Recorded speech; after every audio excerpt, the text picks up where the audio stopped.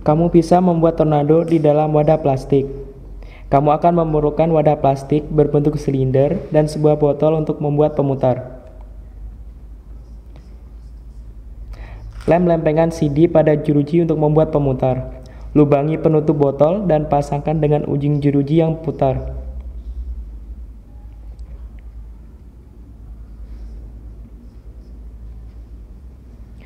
Kemudian, kencangkan jeruji putar dengan tutup wadah dan pemutar dengan ujung jeruji. Potong bagian atas botol plastik bekas dan potong 12 kelopak. Hiasi dengan isolasi berwarna dan putar setiap kelopak membentuk lengkungan dan akan menjadi kipas. Gabungkan kipas dengan baik ketutupnya. Taruh pemutar di dalam wadah yang setengah penuh dengan air dan rapatkan penutupnya. Tornado telah siap. Letakkan semua bagian di bawah kipas yang tergantung di langit-langit. Pemutar plastik akan berputar cepat dan membentuk pusaran kecil.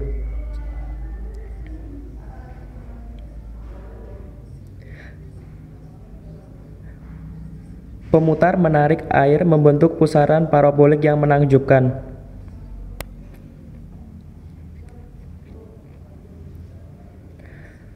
Pusaran tornado merupakan sesuatu yang pantas untuk dilihat.